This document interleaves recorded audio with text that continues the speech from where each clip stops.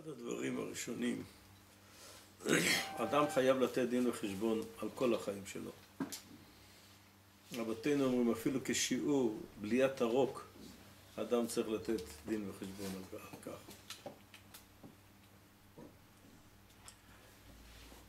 והנה חז"ל אומרים שיש כמה דברים בול, בולטים לעין שזה כל כך חשוב.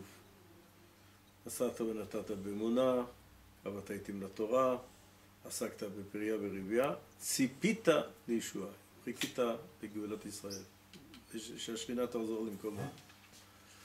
נקרא את הרמב"ם כאן. הרמב"ם בהלכות מלכים כותב כך: המלך המשיח עתיד לעמוד ולהחזיר מלכות דוד ליושנה. מלכות דוד ליושנה. אצל התימנים כתוב בית דוד, כי דוד, השאלה ככה, מלכות דוד הקאים זה תחיית המתים. בגמרא עצמה יש דיון עם דוד, מה זה כתוב, הרמב"ם אומר מלכות דוד, הגרסה התימנית יותר נראית לי, כתוב בית דוד, ליושנה, כמו שחז"ל אמרו על הכנסת הגדולה, שהחזירו עטרה ליושנה. לממשלה הראשונה הוא בונה המקדש, פה יש, זה שיטת הרמב"ם, זה לא פשוט, בונה המקדש. יש כמה דברים לה, להעיר כאן על הרמב"ם. א', יש שאלה אם, אם בית המקדש ירד מיוחד מאש, כמו שלומד התנחומה. או כמו ירושלמי שאנחנו נבנה. ויש עוד מדרש מעניין, המדרש אומר ככה: המשיח יבוא, יעלה על גג בית המקדש ויקרא לעם ישראל לחזור לארצו. זאת אומרת שבית המקדש עוד קודם. וקצת משמעות של הגמרא במסכת מגילה שבית המקדש, כתוב שבניין ירושלים עוד לפני המשיח, ומרש"י משמע שגם בית המקדש קודם. עוד לפני שיבוא המשיח, ייבנה בית המקדש. אז הרמב"ם פה כנראה, הוא פוסק כך להלכה, בונה המקדש, הוא מקבץ נדחי ישראל. זה, גם כן, יש פה בעיה. הגאון מווילנה אומר שהחובה שלנו היום להביא את היהודים לארץ. הוא אומר שאם נביא 60 ריבו, וזה קרה כשמדינת ישראל קמה, היו כאן 650 אלף יהודים. כשירושלים שוחררה היו כבר 600 אלף מגיל 20 ומעלה, זכרים. בחורף שעבר היה לנו כאן עצרת תפילה של ש... שהיה יותר מ-600 אלף יהודים בשערי ירושלים וזה מאוד חשוב כי הגאון מווילנה אומר שאם בשערי ירושלים יהיו 60 ריבו זה, הכוח שלו גדול לשבור את הסמ"ם. אני אגיד לכם למה. השנה הקדוש ברוך הוא לתת לנו דברים לא פשוטים, בכלל לא. שימו לב, לפי הסדר. יום כיפור, חום כבד. חום כבד, סוכות, גשם.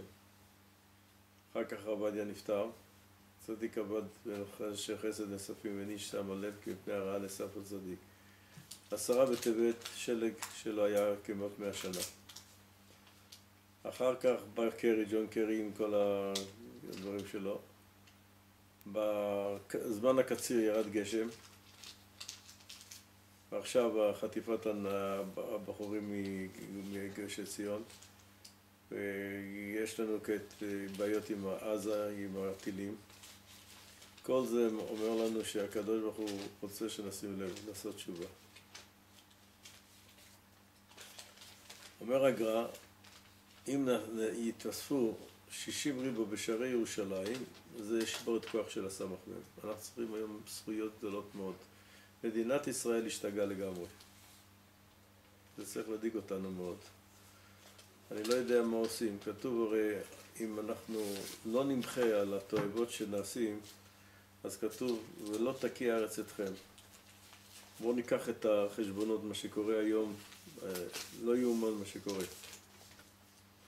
מדינת ישראל נלחמה נגד, נגד עולם הישיבות. כתוב באמת בגמרא שדור שבן, שבן דוד בא, קטגוריה בתלמידי חכמים, יהיה נגד התלמידי חכמים, זה דבר אחד. דבר שני, אולי זה רמז, בכל התור, זה השם, זה השם של יעקב, נתנאל אני חושב, השם שלו, והוא יצא לי הגימטרה בכל התור. פוגעים בכל התור, התור, התור זה תורה. פרשת השבוע כתוב פה על המשיח. הרמב"ם אומר, הוא לקח את זה בפרשת השבוע, הוא אומר ככה להחזיר מלכות דוד ליושנה לממשלה הראשונה, בונה המקדש ומקבץ שטחי ישראל. והגר"א אומר שצריך לקבץ שטחי ישראל קודם, זה יביא את הגאולה. אנחנו רואים שהקדוש ברוך הוא בינתיים עושה את זה בלי המשיח.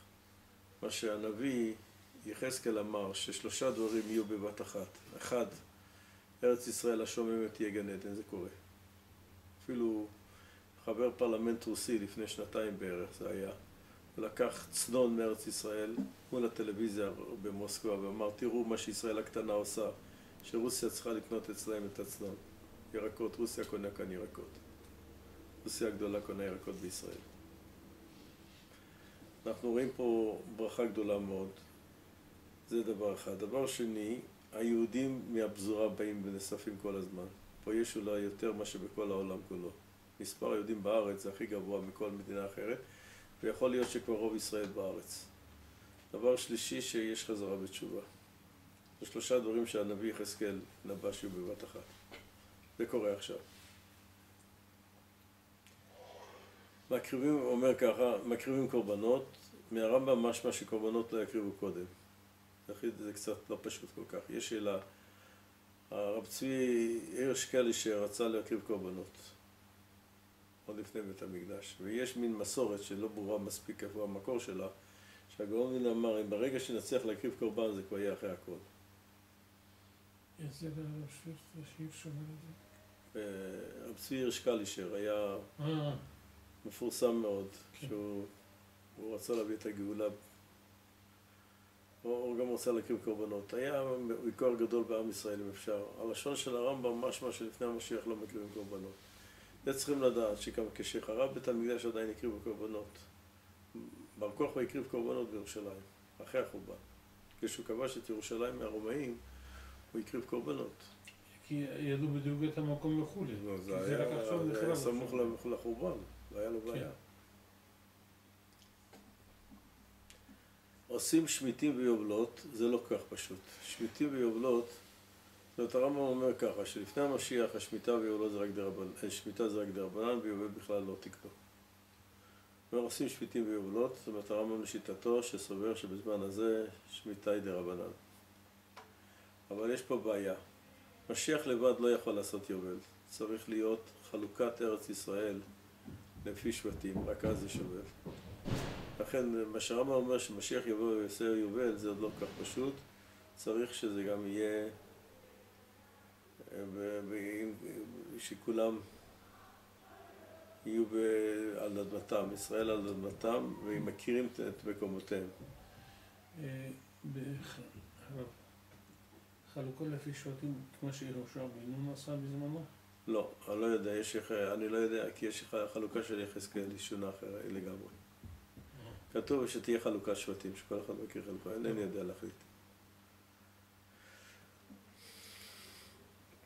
כל מי שאינו מאמין בו, או שאינו מחכה לביאתו, או בשאר נביאים בלבד הוא כופר עליו בתורה משה רבינו. שהתורה העידה עליו, שנאמר ושב השם אלוקיך שבותך ורחמך ושב וקיבצך, אם יהיה נידחך מקצה השמיים וביאך השם. ואילו הדברים מפרשים בתורה הם כוללים כל הדברים שנאמרו על ידי כל הנביאים. אף בפרשת בלעם זו הפרשה שלנו, נאמר, ושם ניבא בשני המשיחים. משיח ראשון הוא דוד, שהושיע את ישראל מיד שריהם, אתם יודעים, דוד שחרר את ירושלים. עד דוד לא היה ירושלים. ירושלים, אנחנו אומרים כל הזמן, זה עיר דוד. למה? הוא היה צריך, עד אז, 400 שנה, עד דוד המלך לא היה בידינו ירושלים. זה התפקיד שלו, זה, זה קשור למשיח. משיח האחרון עומד מבניו שמשה את ישראל באחרונה. ושם הוא אומר, הראנו ולא אתה זה דוד. אשורנו ולא קרוב זה מלך המשיח. דרך כוכב מיעקב זה דוד, קו שבט מישראל זה מלך המשיח. ומחץ פתי מואב זה דוד, וכן הוא אומר ויח את מואב וימדדם בחבל. קרקר כובנשת זה מלך המשיח, שנאמר בו משלום מימד ים. והיה אדום ירשה זה דוד, שנאמר ונתי אדום לדוד לעבדים, והיה ירשה זה מלך המשיח, שנאמר ועלו משים בר ציון לשפוט את הריסה. זה הרמב"ם. אבל אני צריך עוד קצת אחר כך נראה את אור החיים הקדוש בלי נדר, אבל לפני כן אני רוצה להקריא לכם שני דברים. החטא שהיה כאן, בעל פאור ובנות מדיין. כתוב פה, יש מי שמפרשים ככה, תראו מה שהוא אומר, הפסוק. הפסוק, יש פסוק מעניין. אם אתם לוקחים את הפסוק, תשמעו אותו ואני אקרא את זה לאט כדי שתבינו את הפסוק. ואתה, הנה אני הולך לעמי, בלעם אומר לבלק, הנני הולך לעמי, לך יעצך אשר יעשה העם הזה לעמך באחרית הימים. מה זה אני אתן לך עצה? מה העצה?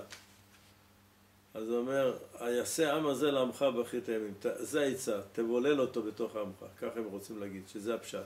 יש כאן רמז שהוא נתן לו עצה לבולל את עם ישראל. זה מה שקורה היום באחרון נצן בעולם כולו. התבוללות נוראה. אפילו באמריקה 60% מתבוללים. וכדי למנוע את המשיח, מה היה הסוף? מיד אחרי שהוא מודיע לו, השרמב"ם אומר שכאן מגלה לו יסוד המשיח, מה כתוב בסוף? מה כתוב? וישב ישראל בשיטים ויחל העם לזנות את בנות מואב ותקרן על העם לזכרי אלוהים ויכל העם וישתחו לאלוהים ויצמד ישראל לבעל פאור ויחרף השם בישראל. זאת אומרת כאילו בא לומר לנו שזה מה שיכול לעכב את הגאולה. אחרי שהוא מודיע שיבוא משיח וזה צריך להיזהר, זה מה שאני פוחד היום מכל התועבות היום, מצעדי התועבה למיניהם זה זהו. בואו נראה את הגמרא קצת בסוטה. מה כתוב שם? איך ייראה אחרית הימים? כתוב כך, תנו רבנן, הפנחס בן יאיר, אחרים עושים רבי שועה, אומר, משחרב בית המקדש, בושו חברים ובני חורים. וכפו ראשם, ונדלדלו אנשי מעשה, וגברו בעלי זרוע ובעלי לשון. אין דורש, ואין מבקש, ואין שואל, על מי לנו להישען על אבני שבשמיים. רבי יצחק מוולוז'ין אומר, זה גם כן חלק מהקללות. שאנחנו מאבדים את המוטיבציה לעשות משהו. אין לנו שם נביאים של השמיים, לכאורה, אין, מחוסר ברירה אנחנו נגיע למצב כזה שנפתח על הקדוש ברוך הוא, אבל הוא אומר לא, זה גם כתוב פה עונש, זה חלק מהחטא, חלק מהכישלון, שאנחנו, לא, לא, אין לנו יוזמות, לא, לא חושבים לתקן, אנחנו סומכים על הקדוש ברוך הוא, זה לא אז מה זה פה חלק מהעונש? מה? אז מה החלק של העונש? לא יודע. רב גזר הגדול אומר מיום שלך בית המקדש, החכמים נהיו רק כמו הסופרים, הסופרים כמו החזנים, והחזנים כמו עמי ארצות. ועמי ארצות הולכים ומדלדלים, אין שואל ואין מבקש. על מי יש לנו להישען על אבינו שבשמיים? לכאורה זו הכוונה, יגיע למצב כזה. עכשיו, בעקבות משיחה, אומר רש"י מה זה? בסוף הגלות, לפני ביאת המשיח, חוצפה יסגה הילדים היום, אצל החילונים במיוחד, חוצפה יסגה, יוקר יאמיר, המחירים כל הזמן עולים אינפלציה, כל הזמן בנוי על אינפלציה. הגפן תיתן פריה, והאם ביוקר. למה אומר רש"י? אף על פי שהגפן נותנת פריה, היין ביוקר, שהכל עוסקים במשתאות. הפאבים השתלטו על מדינת ישראל, רחמנא ליצלן. פאבים. הכל עוסקים במשתאות. ברוך השם שזה לא אצלנו, אבל זה בכל זאת, אנחנו חלק מעם ישראל, מכל זה. חלק גם הולך לשם. אה? חלק קטן אצלנו גם הולך לשם. סליחה. יוקר ימי, הגפן תן פניה ואין בקר. מלכות תהפך למינות. ואין תוכחת. אף אחד לא מוכיח, אף אחד לא... בתוודיה לזנות. הכנסת ובית, ובית המשפט, רחמן ליצלן, מגבים את כל החטאים. שר החינוך אמר בערוץ 7 שזה לא משפחה, שני, שניים מאותו מין. אז, אז, אז שרה במש, בממשלה אומר צריך לפטר אותו. בבחירות לנשיאות, רחמן ליצלן, אחד המועמדים החזיק את הדגל של הרשעים על השולחן שלו. אז מישהו היה ביותר חכם ממנו, הוריד את זה ביד. אחד שעמד להתמודד מול, מול הנשיא כן. של היום. כן. על השולחן שלו היו שני דגלים, דגל המדינה ודגל הקשת, רחמנא ליצלן. היה לך את אחד מהעוסקים, העוזרים שלה יותר חכם מוריד את זה, אבל כבר את התמונה אי אפשר להוריד, זה כבר צולם.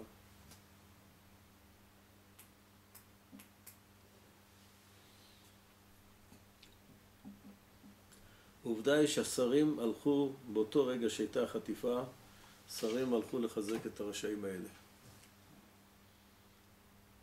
שני שרים לפחות הלכו לשם, בראש עיריית תל אביב. מת ועד ילזות. הגליל, זה הסוף יהיה גליל אחרי בגאולה נשום, אנשי גבול יסבו מעליהם ולא יחננו. חוכמת סופרים תסרח, וירא חטא ימאסו, והאמת תהיה נהדרת. נערים פני זקנים ילבינו.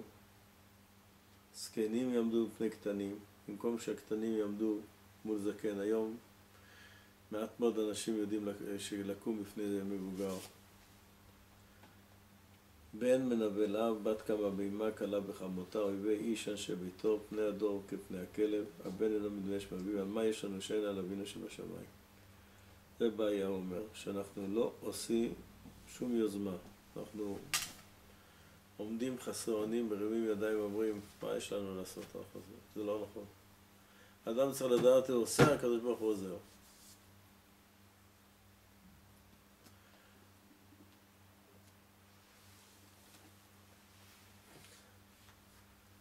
זה דבר אחד. עכשיו אני רוצה קצת לקרוא איתכם את אור החיים הקדוש. אור החיים הקדוש, פרשת השבוע, מדבר לכאורה, אולי זה קצת נחמה. בואו נראה מה אור החיים הקדוש אומר.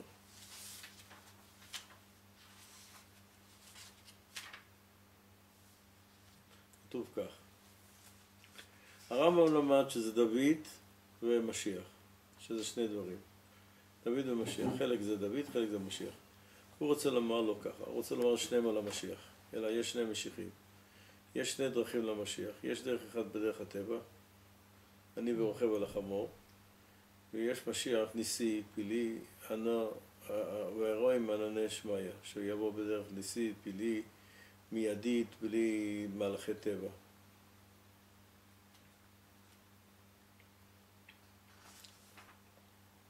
רוצה להקריא לכם את אור החיים הקדוש.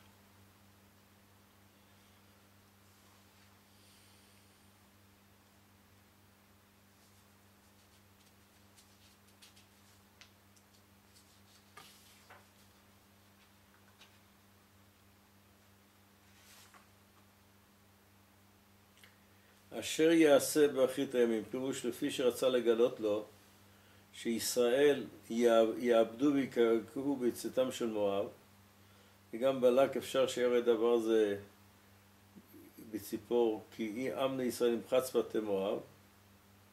אז אמר לו לא אני ארגיע אותך זה יהיה באחרית הימים.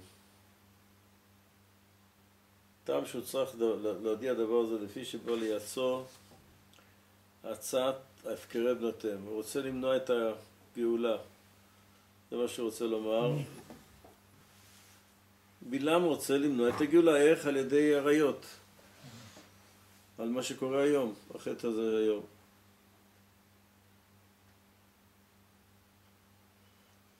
לך היא אני אתן לך עצה.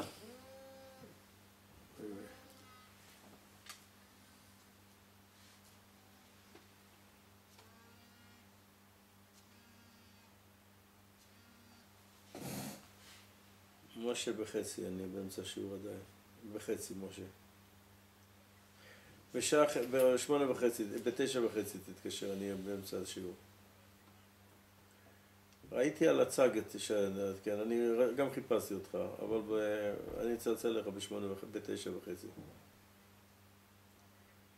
וכן, אני אבוא לשיעור, בסדר, אז נדבר מחר.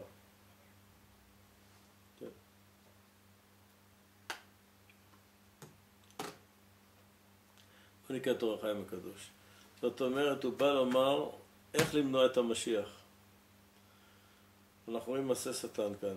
אתם צריכים לדעת, הנחש הקדמוני, יש כאן, יש פה הנחש, זה חטא האדם הראשון, זה נחש. פרשת השבוע שקראנו, אומר המדרש, למה משה לא שם שרף? תראו מה שכתוב בפרשת חוקת. בפרשת חוקת כתוב כך. מה כתוב שם על הנחש? אז הוא...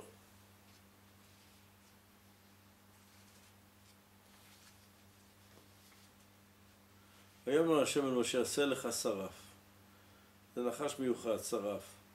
נחשים שרפים, שרף, ושים אותו על, ה, על הנס, ויעש משה נחש. למה לא עשה שרף? למה עשה נחש? אומר המדרש, הוא רצה שנזכור את חטא הדם הראשון, ואז נעשה תשובה, ואז אז, אז ניוושע. יוצא כעת שמזכירים לנו את חטא הדם הראשון, ואני גם כן מסביר. אתם יודעים שיש הבדל בין נחש ארסי לנחש רגיל. מה ההבדל, אם אתה רוצה לדעת, אם מישהו נוקש או נושך, יש נשיכה ויש הקשה. איך אתה יודע אם האדם הזה נושך או נוקש? נושך זה כשיש שיניים בפנים בבשר. כשרואים הרבה שיניים זה נשיכה. אם רואים שניים זה מזריק של שיני הרס. השאלה שלי הייתה למה צריך שני שניים? למה הקדוש ברוך הוא ברא את הנחש עם שניים? למה לא מספיק אחד? אני חושב שזה בא ללמד אותנו. יש שני חטאים. אחד זה גאווה והשני זה תאווה. הנחש הקדמוני שכתוב וישבך עקב, שיקוץ את האדם, עקב גם כן, עקב בקבתא דמשיחא, זה, בשתי הדברים האלה, גאווה ותאווה. אז זה מה שהוא אומר. עכשיו,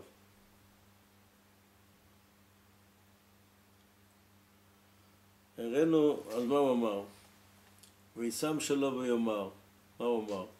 בפסוק י"ז, תסתכלו מה שהוא אומר, הראינו ולא, ולא אתה, אשורנו ולא קרוב, תערך כוכב מיעקב, וקם שבט מישראל ומחץ מואב קרקר כל נשת. אתם יודעים שרב עקיבא חשב שבר כוזיבא זה המשיח, אז הוא קרא לו עליו תערך כוכב מיעקב. את הפסוק הזה הוא חשב שזה נאמר עליו. עד שהתברר הטעות שלו. למה? חז"ל אומרים שבר האמין בכוחו. זה מה שצריך להדאיג אותנו מאוד. הנושא הזה של להאמין בכוחנו. אבל כבר פעם אחת הקדוש ברוך הוא לימד אותנו ביום כיפור, שקרה כאן נס, ואחר כך גם כן במלחמת המפרץ. במלחמת המפרץ לא עשינו כלום, רק ניסים היה. לא יכול לעשות שום דבר, רק הניסים הציל אותנו. אסור לשכוח את התמונה של מלחמת המפרץ, התמונה הכי, הכי חזקה שהייתה. בית קרס עד הרצפה ואדם יוצא שלם מלמטה.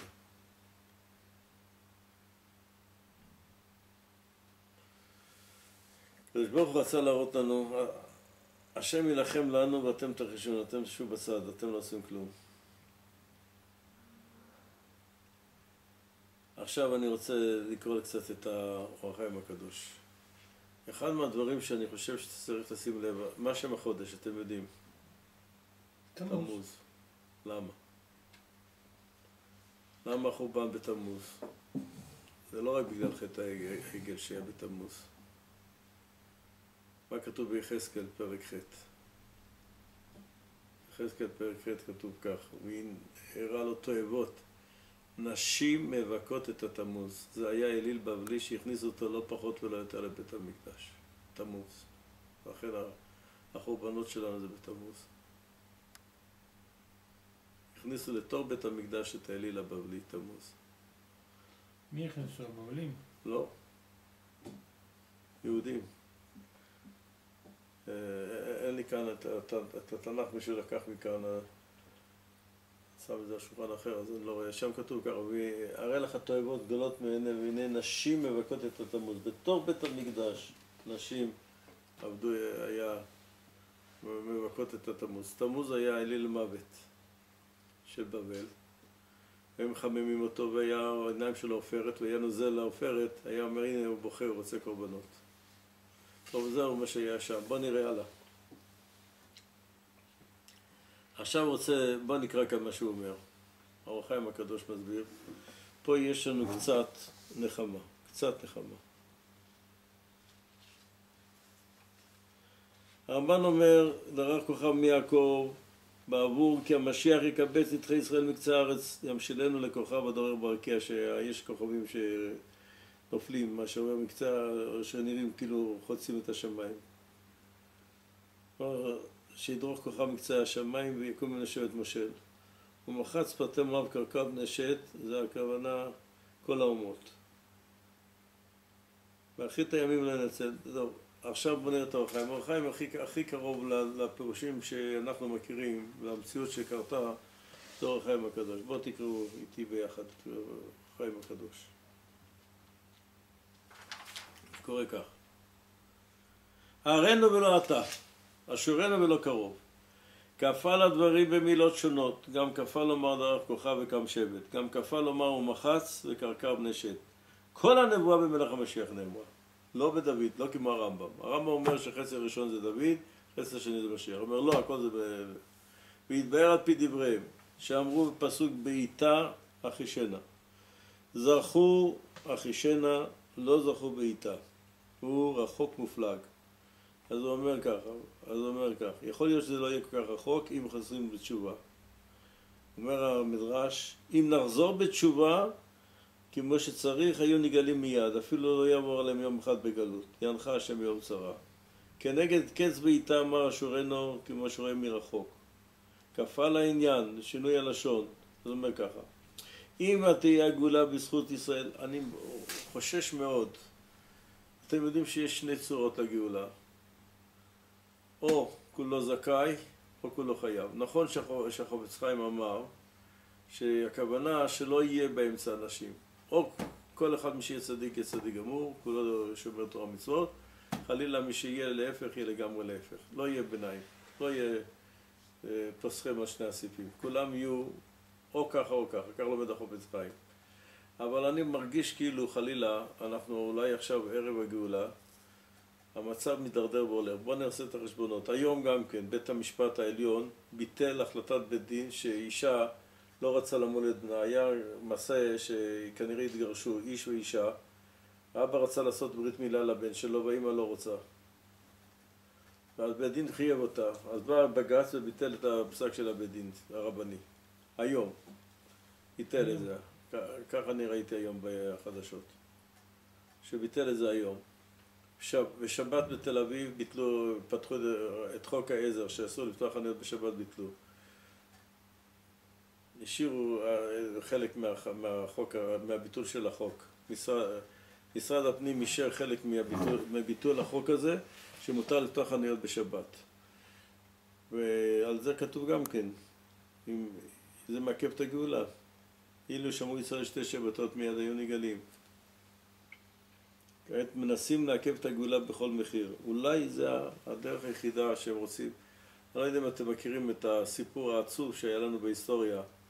היה רשע מרושע, שהוא היה משיח שקר. הצבי השבור, אתם מכירים את ההיסטוריה, היה בהיסטוריה אחד מטורקיה, שבתאי צבי, שם משה מרכב. הוא רצה להביא את, החט... את הדרך החטאים, להביא את ה... אומר, דור שכולו חייב וכך יביא את המשיח. החטאים שהם עשו היו נוראים. כך רצה להביא את המשיח על, על פי דור שכולו חייב.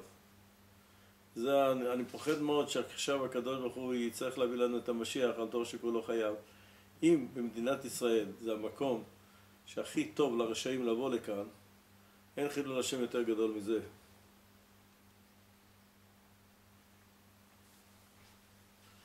אז אולי זה הכוונה, דור שכולו חייב. אני אקריא לכם הלאה. אז הוא אומר, אם יהיה דרך זכות ישראל יהיה דבר מופלא במעלה ויתגלה, ויתגלה גואל ישראל מן השמיים במופת ועוד כאמור בספר הזוהר מה שאין כן כשתהיה גאולה מצד הקץ ואין ישראל ראויים לה תהיה באופן אחר עליה נאמר שהגואל יבוא עני ורוכב על חמור הוא מה שאמר כאן כנגד גאולת החישנה שהוא באמצעות זכות ישראל, שרמז במאמר רנו ולא אתה, אמר, דרך כוכב, שיזרח הגואל מן השמיים. גם רמז, וזה אחד מהדברים שאני לא יודע מי ששם לב לזה, אתם יודעים שבמלחמת יום כיפור חיכינו לכוכב שאמרו שיבוא כוכב שביט, קומטה. כוכב שביט שיהיה הדבר הכי מעניין של המאה השנה האחרונה. הוא בא ונעלם. לא הגיע לכדור הארץ. חיכו חיכו והוא לא הגיע. אני חושב שזה היה זמן של גאולה ונעצר בדרך. כאן שהוא אומר בזביר, הוא אומר כך, הוא מביא מהזוהר, מעניין מאוד הזוהר, קם שבט מישראל, ככה אומר ככה, דרך כוכב, שיזרח הגואל מן השמיים, גם רמז לכוכב היוצא באמצע השמיים לנס מופלא, כאמור בספר הזוהר. הקדוש ברוך הוא הראה לנו במלחמת יום כיפור, בטלסקופים ראו אותו מרחוק מתקרב לכדור הארץ, אבל לא היה לנו זכות, הוא נעצר ולא הגיע. כנגד גאולה בעיטה, שרמז במאמר אשורנו לקרומר כמשבט מישראל. פירוש, שימו לב למה שהוא אומר. יקום שבט אחד מישראל, לא כל היהודים יבואו לארץ, חלק מהיהודים יקומו, יקימו שלטון בארץ, זה אולי הנחמה שלי. כדרך הקמים בעולם דרך הטבע, על דרך אומרו, ושפל אנשים יקים עליה. אנשים מאוד רחוקים. הציונות החילונית הייתה שפל אנשים. שיביא עני ורוכב על חמור, יקום וימלוך ויעשה מה שנאמר בסמוך. זה מה שהוא רוצה לומר. אז כך אומר, כיתות הצד... וטעם שיהיה גאולת החישנאי כוכב ליעקב, גאולה בעיטה שהוא עני לישראל, שהם כיתות הצדיקים, נתכוון לומר, שהמושג, לגדר הזה של ביאת הגואל ככוכב הוא. אומר, אם תהיה גאולה מפת גדר בינוני שבישראל, שיתירו במעשה ויעשו בו בזכותם, יש ברוך השם הרבה בעלי תשובה. אז הוא אומר, הם אמרו דרך ככה מיעקב, אבל ביתו בדרך וכמה שווה, זה יהיה אם לא יטיב מעשה עם כוח הבינונים, ולא יבוא אלא מפאת כת הצדיקים שבהם. אז הוא רוצה לומר ככה, זה מה שמנחם אותי. הוא מנחם אותנו, אתה אומר ככה, חלילה, אם לא נזכה יבוא המשיח בכל אופן, אבל רק בזכות הצדיקים, אבל זה לא המשיח האידיאלי, וזה כבר אמר הרמי בריסקה, אני רוצה על זה לחזור, על מה שהרב בריסקה אמר. הרב בריסקה אמר כך הגאולה של בעיטה זה גאולה טבעית, גאולה של חמור. אני ורוכב על חמור. גאולה של אנו, שאנחנו צדיקים, זה גאולה מסוג אחר לגמרי. זה אומר ככה, אפילו ברגע האחרון, תזכרו מה שהוא אמר, אפילו ברגע האחרון, לפני שמגיע סוף הסוף, אם אנחנו נעשה תשובה ונקרב את המשיח ביום אחד, זה כבר גאולה שלנו, זה לא גאולה ששמו על הראש שלנו. גאולה ששמו על הראש שלנו זה גאולה חלשה מאוד. אנחנו רואים מה שקורה היום. הכל זה, אנחנו נמצאים בתהליכי גאולה עמוקים, אבל מה קורה? זה, זה נראה יותר גלות מגאולה. המצב שלנו היום בידי הציונים, החילונים, השלטונות לכל דבר קדוש נלחמים עכשיו נגדו. כל דבר קדוש. תראו אפילו את בית המשפט שגזר על אורי לפליאנסקי שש שנים. זה, הם נלחמים נגד חסד. הם טוענים שחסד אם אדם אה, משיג תרומה, הוא לא השיג את התרומה, הביאו את התרומה בלי שהוא הולך לחפש אותה. הביאו לו תרומה, הוא מקבל עכשיו עונש על זה שהביאו לו תרומה של לצדקה. זה נורא. זאת אומרת, כל, כל דבר טוב שיש במדינה הזאת, הם נלחמים להרוס אותו. הישיבות, עכשיו חסד, ועושים בתי כנסת גם כן. נכון שיש תירוץ אה, די נכון על זה שלא כולם היו עם רישיון. אבל הבתים של הערבים שבלי רישיון, הרבה מהם הם משאירים על מקומם. בתי כנסת שנבנו בלי רישיון הם הורסים. זאת אומרת, אנחנו רואים שפה יש ממש כאילו מלחמה נגד היהדות. אולי זה מה שכתוב בתנ"ך, שגם יהודה תילחם בירושלים. שיהיה יהודים שילחמו בזמן המשיח נגד, נגד ירושלים. תסתכלו טוב איך שהם מסתכלים על, ה, על כל דבר, החילונים. יש לי כאן מאמר של חילוני אחד, לפני 16 שנה, כשמדינת ישראל הייתה בת 50, הוא שמאלני, אז הוא מזלזל בכל מה שיש כאן. או, חלק מהדברים, הוא צודק, חלק מהדברים הוא אומר, יש, יש בזה דברים נכונים, חלק מהדברים, אבל חלק מהדברים ממש זה רק שנאה של, ה, של ה, מה שקורה כאן. אני רציתי קצת להסביר לנו למה אני אומר את כל זה, אני היום כאוב ביותר. אם אנחנו לא נעשה חשבון, לא נתעורר, אני לא יודע מה יהיה כאן. אני מרגיש שהעולם הגיע לסוף הדרך. שלושה דברים הקדוש ברוך הוא שמר לעולם את זה. כתוב, גמרא בחולין צדיק ב' אומרת, שלושים דברים קיבלו הגויים על עצמם. שלושים מצוות קיבלו הגויים על עצמם לשמור. ולא שומרים אותם, רק שלוש. מהם השלוש? מכבדים את התורה, לא מוכרים בשר אדם באטליס, לא עושים מזה מסחר. ודבר שלישי, לא כותבים כתובה לשרים, נזהרים עוד בצניעות. לכוונה, ב, לא, לא עושים את זה בפרהסיה, מתביישים. והנה כל השלושה דברים נגמר. על, על התנ"ך הם, הם עשו ביקורת המקרא, לבטל את האמונה שהתנ"ך זה בא מהקדוש ברוך הוא נבואה.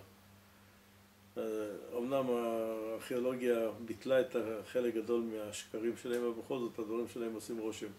רחמנא ליצלן. ולא רק זה, מחייבים ללמוד כפירה בבתי הספר. ממשלת ישראל עכשיו מחייבת ללמוד דברי כפירה בבתי ספר דתיים. דברים שמבחינה מדעית הוכחו כאיזה שטויות. אני ממש צריך להבין מה שקורה כאן, אני לא יודע איך להבין את כל זה, אז בואו נראה את ה... מה שכאן היה. אני רוצה מעט להסביר כאן.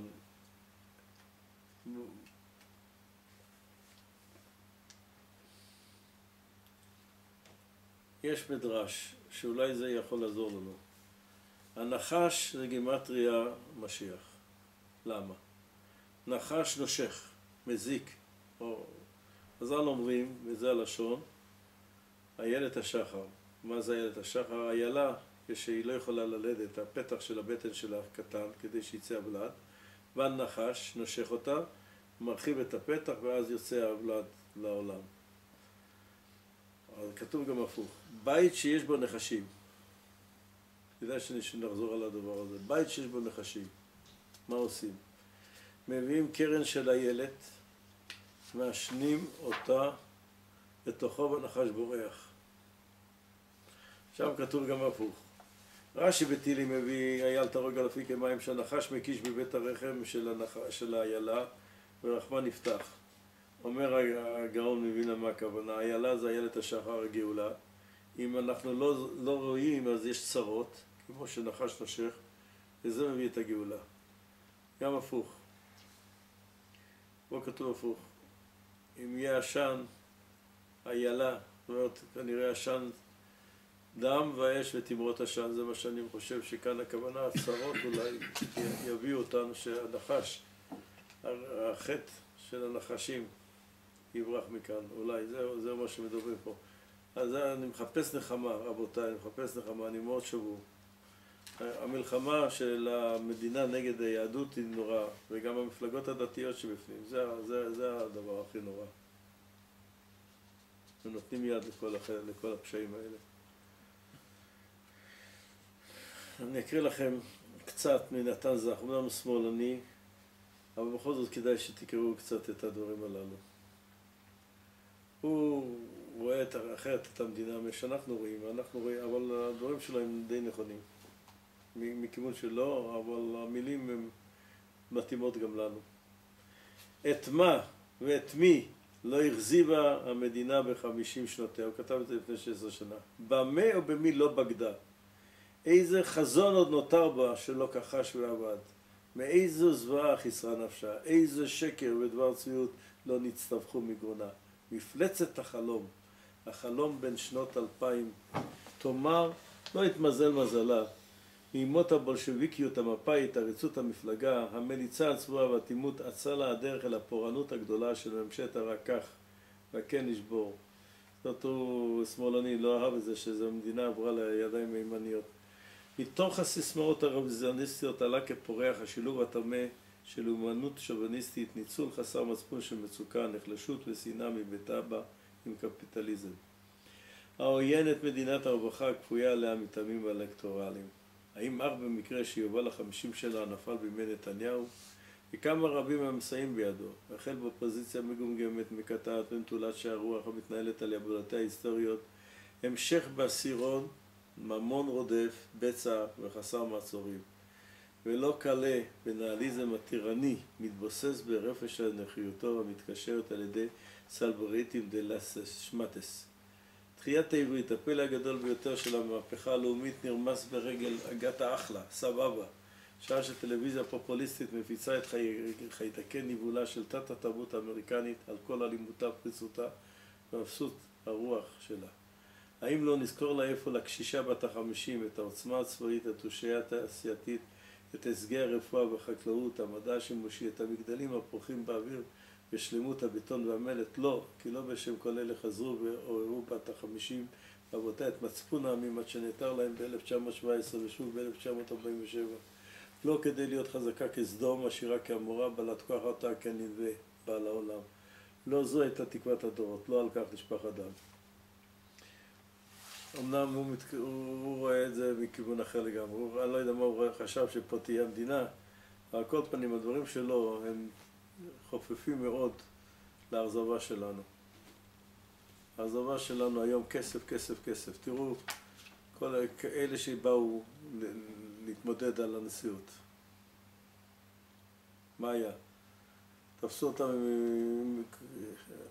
אולמרט צריך כעת לשבת בית סוהר. ראש ממשלה, שוחד, ביזנס. כל, כל ראשי הממשלה יש להם עשירים גדולים מאוד, מאיפה לקחו את הכסף? הם עשו את זה על חשבון שהם ראשי ממשלה. הנשיא, במקרה הקדוש ברוך הוא חנן אותם, שלפחות הבחירות האחרונות של הנשיא, זה נורמלי. שניים היו מכל הראשים היום נורמליים. אורי לופליאנסקי שצריך לשבת שש שנים, ומולו אולמרט שעשה ביזנס ביזנס שש שנים. זה הרי אחד מהטירופים של מדינת ישראל לגמרי. אחרים טוענים בגלל שהוא חרדי, הם רוצים לשבור את המושג של צדקה וחסד. אין לזה שום היגיון, כל המשפטנים. אבל הוא לא לקח לעצמו הרי את כל זה. אז מה? בייליס, זה אמרתי לכם, לבד. לופוליאנסקי, בייליס, דרייפוס. זה עכשיו ייכנס להיסטוריה, המשפט, המשפט הזה. עיוות הדין שהיה, זה פעם שלישית בהיסטוריה. אמנם יש עוד כמה אחדים.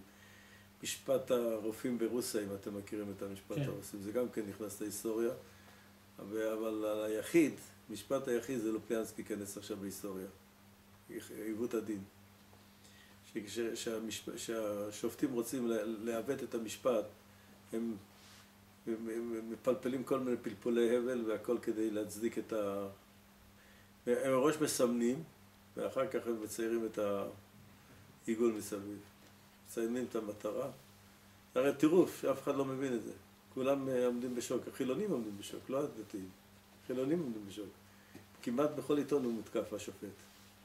מעריב, ידיעות הארץ, כולם מתקיפים. על לופליאנסקי דווקא. על לופליאנסקי, כולם מתקיפים. כן, דווקא על לופליאנסקי, על האחרים לא תוקפים אותו. מה? לא, כי הם, הם, הוא לא לקח גרוש לידיים, הוא אני, זאת אומרת, הוא חי כמו כל יהודי כמונו, עם בית פשוט, עם משכורת כשרה ובלי ביזנסים צדדיים. לא ניצל את המעמד שלו לכלום. זה ממש, זה, זה נבחר אני חושב. זה? נבחר. הוא נבחר כמו יוסף הצדיק שהוא נבחר. זהו משמיים, ש... כתוב שכל מי שיהיה חלקי, מי שחושדים בו ואין בו, זה, זה הצדקות שלו, הוא תקבל, בשכר בשמיים יקבל שכר אינסופי. אבל הרשות של מדינת ישראל, הם הגיעו לשפל שאין כמוהו. תראו, כל מה שהם עושים זה, לא, זה, זה, זה רשות. המדינה הזאת כולה רשות. יש קייט, קייטנות לילדים, חוץ מחרדים, הכל. מה זה קייטנות? קייטנות בקיץ. המדינה עוזרת במימון, חוץ ממה של החרדים. כן. זה פלא פלאים. זה לא פלא פלאים, זהו, זה, זה מלחמת הרע בטוב, נו. איפה שדווקא שכן יש ילדים ששם צריך לעזור להם כי הם בלי עין הרע. הרבה יותר במספר מאשר... לא, הם לא מבינים שזה העתיד של עם ישראל. הכלבים והילדים שמביאים, שקונים בברזיל זה לא, זה, לא, זה לא עם ישראל. יש כאלה שקונים ילד בברזיל. כן. זה לא העתיד של עם ישראל. הכלב והילד שקנו בברזיל זה לא העתיד. מדינת ישראל השתגעה לגמרי. וזה מדאיג אותי מאוד, כי הקדוש ברוך הוא לא יושב בשקט.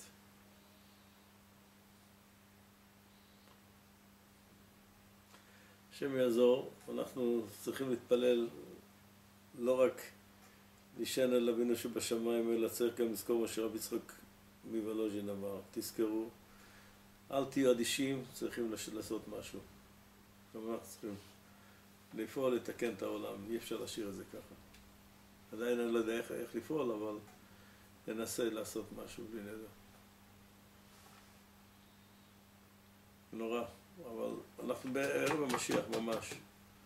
כל רגע, אני מחכה עכשיו באופן מיוחד, תמיד צריך לחכות למשיח, אבל אני חושב שעכשיו עוד יותר.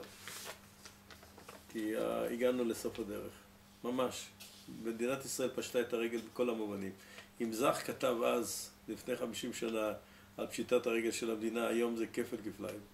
הוא דיבר על זה מבחינה פוליטית, אנחנו מדברים מבחינה ערכית. מדינת ישראל פשטה את הרגל. אם, אם, אם שרת המשפטים הולכת להילחם על, על זה ש, ש, ששר החינוך אמר זה לא משפחה, שני נשים שמתחתנות זה לא משפחה. אה, היא באה בתביעה שהוא צריך להתפטר. תראה לאן הגענו.